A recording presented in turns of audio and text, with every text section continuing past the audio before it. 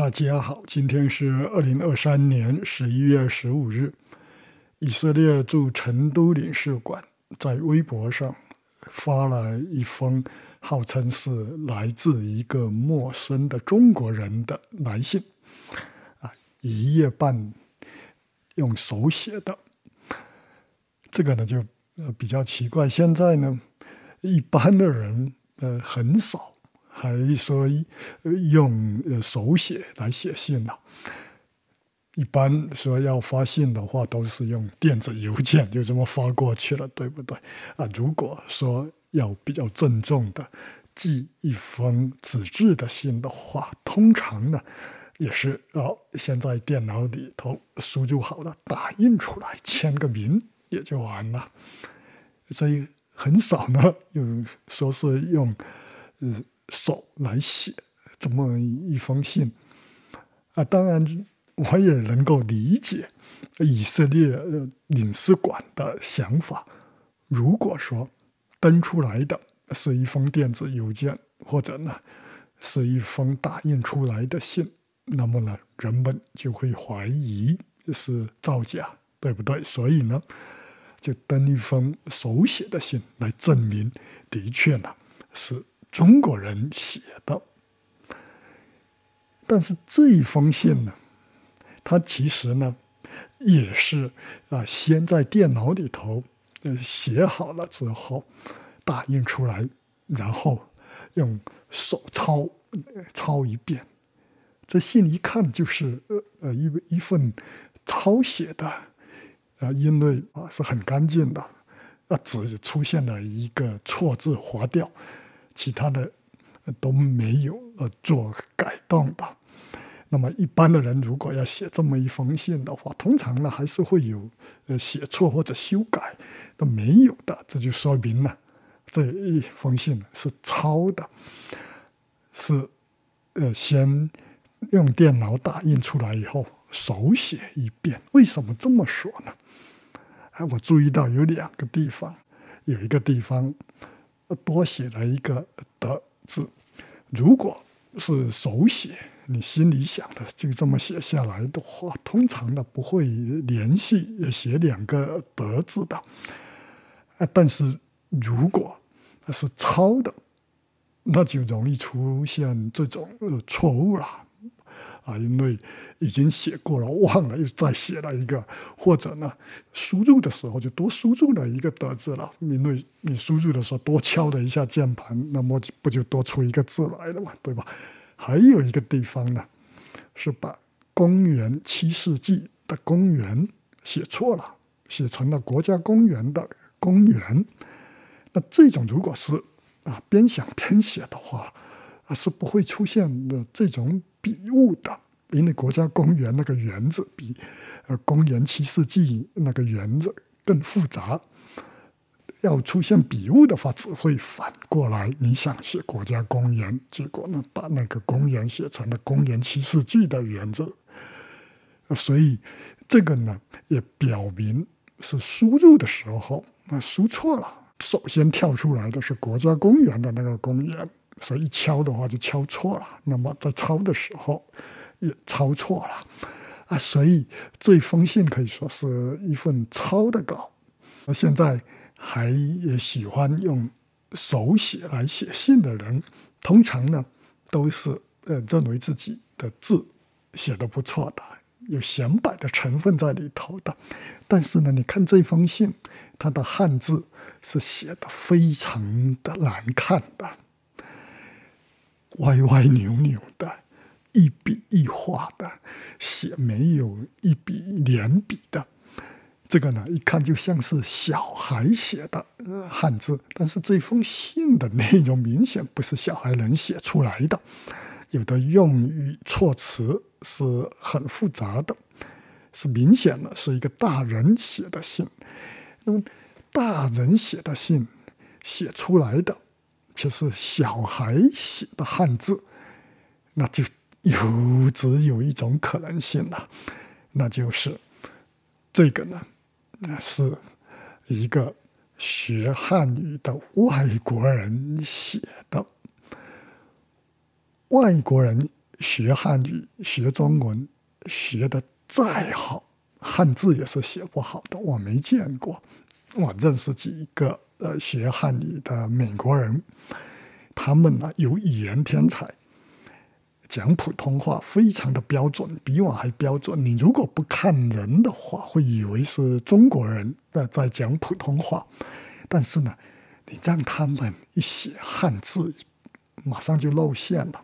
一看写的字，那就是小孩，中国的小孩写的那种汉字。他们写不了行书啊，只会写楷书，然后是一笔一画的写，写的呢也是歪歪扭扭的，没有任何的章节的。因为我们中国人写汉字是从小就练出来的，从幼儿园、小学就被老师逼着一遍一遍。的抄写同一个呃字，这么练出来的，所以到长大之后，你写的汉字已经变成了一种本能了，一看就写的很自然。虽然有的很好看，有的写的很难看，但是那个字一看呢，都是比较自然而然的写出来的，而不像。小孩写的那种汉字，一看呢就是很别扭的。那么学呃中文、学汉语的外国人，他们呢写的汉字也是属于这种，因为不是从小练出来的，你长大之后再怎么练也练不好的啊。所以在外国人当中是没有书法家的。日本的、韩国那不算了，因为他们有的也是从小啊就在呃练汉字的啊，所以语言天才是有的，写字的天才我是没见过的，这个是必须从小呃就练的。那看呃以色列领事馆公布的这封信，那个字一看啊，就是小孩体，也就是是一个学中文。学汉语的外国人写的，而且由于这个人他实际上汉字写的也不好，是根据啊一个打印出来的这么一个文字稿来抄的，所以有一些最常见、最简单的汉字，他也写错了啊，比如说里面把。分啊，都写成错了。上面本来应该是八，他都写成了人，并且的且，有的地方是写对的，但有的地方又写错了，里面多了一横，本来应该是两横，他写成了呃三横的。真里面本来应该是三横的，结果他反而呢写成了两横的。组织的组。他有的地方写对的，有的地方呢，呃，又写错了，也是把那个“且”写成了三横的，还有自己的“己”而写成了“乙”，所以像这种最简单、最常见的汉字，中国人是不会写错的，因为从小学一年级甚至更早，人在幼儿园那就已经在写了，是。不可能说把写一个“且”的时候给多写一横的，那少写一横倒有可能写潦草了，但是呢，你多写一横那是绝对不可能的。这个呢，就是因为抄写的人他并不是以汉语为母语的，是学中文的，所以写字不熟悉才会呢出现这种错误的。那我们再看这封信的内容，它的措辞用语读起来呢，也是很别扭的，不像呢是一个中国人写的，而像呢是一个外国人写的。我举一个例子好了，里边有一个句子。但凡是有点良知和认知能力的人，都应该分辨得出来，一个被全世界列为恐怖组织的哈马斯去疯狂攻击以色列平民的行为意味着什么。啊，这念下来都要大喘气了。大家是不是觉得很别扭？这么长的句子，像是一个中国人写的吗？我们一般说话写信是不会用这么长的句子，这个就所谓的欧化句子，是从欧洲的语言翻译成中文才会出现的这种呃情况的。而且你仔细推敲的话，这句话其实是不通的，意味着什么？是不能靠分辨的，而是呢？要用哦，知道意味着什么，明白意味着什么，而不是什么分辨意味着什么，对不对？但是呢，如果原文是英语的 tell，那就通了，因为 tell 除了分辨的意思，还有明白的意思，还有了解的意思，还有知道的意思，所以这这个句子明显呢是一个不是。汉语为母语的人写出来的、翻译过来的，所以这封信明显那是假的，不是一个中国人写的，而是一个学汉语的、学中文的外语国人呃写的。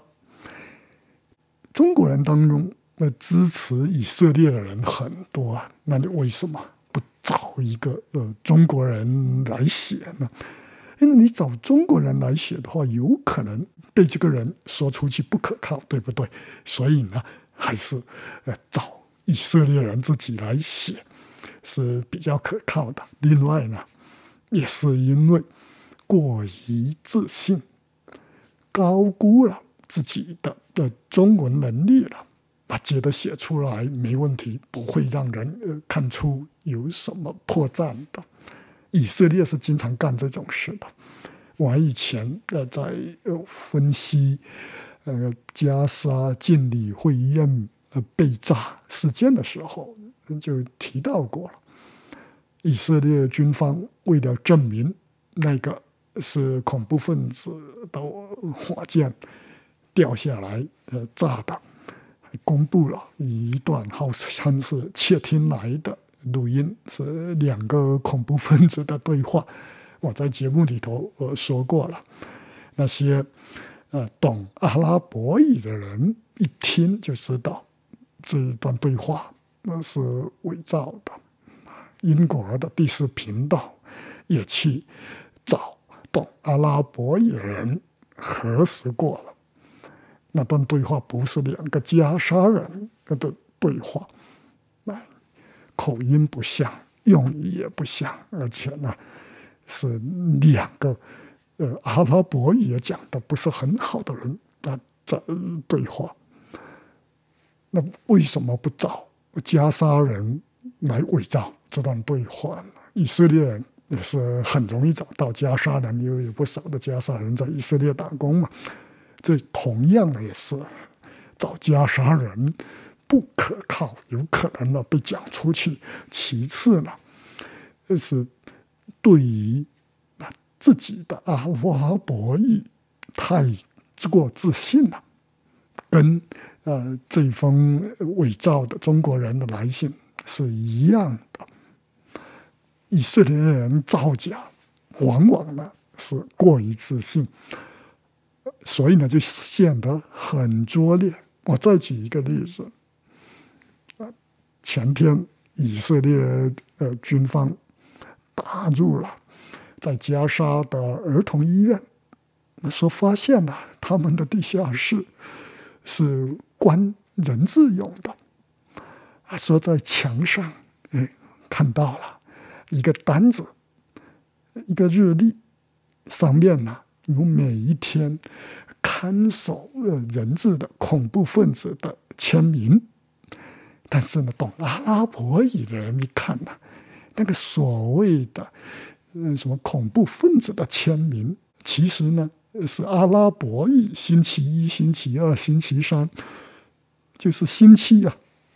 即使不懂阿拉伯语的，你用翻译软件翻译一下，做一个对照，也知道。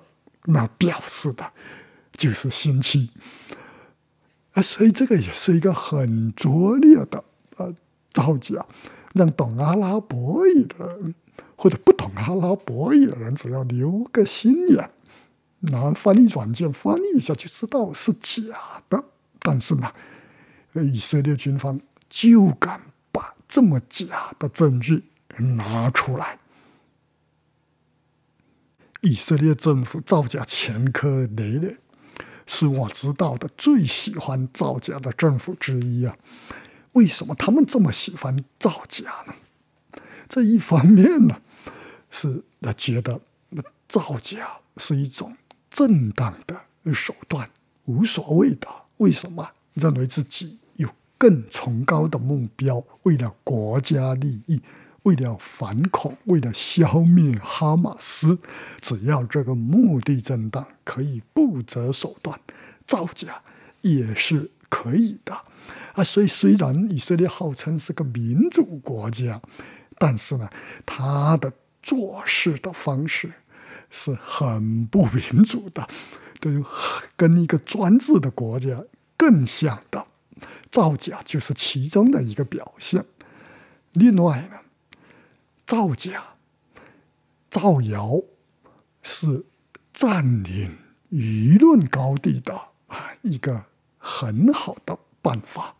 一个事件出来了，我先把谣言给散布出去了，把这个舆论给造出来了。那么等过了一段时间，被发现哪一个是假的，被戳穿了。这个时候呢，已经没有太多的人还去在乎呃这件事了。一个新闻的周期已经过去了，又有别的那新闻吸引了人们的眼球了。啊，所以造谣是总是比辟谣要有效的啊。比如说吧，关于加沙经理会医院被炸。那个事件，以色列军方一开始就说：“哦，那个不是我们干的，啊，是恐怖分子的火箭失灵掉下来炸的。”列举了几条理由证据，后来的这些证据呃都被发现是假的，没有一条能够站得住脚的。但是呢，那是以后的事了。等到人们开始陆陆续续的，啊，发现。那是假的，那些证据没有一条能够站得住脚的时候，很多人呢，对这事已经不关心了，已经失去了呃兴趣了。啊，所以呢，我们啊，对于这些一贯喜欢造假的人，喜欢造假的政府，一定呢啊要留一个心眼，要有记性，不要轻信。他们的说法，免得呢受骗上当。好，今天的节目就做到这里，下次的节目再见。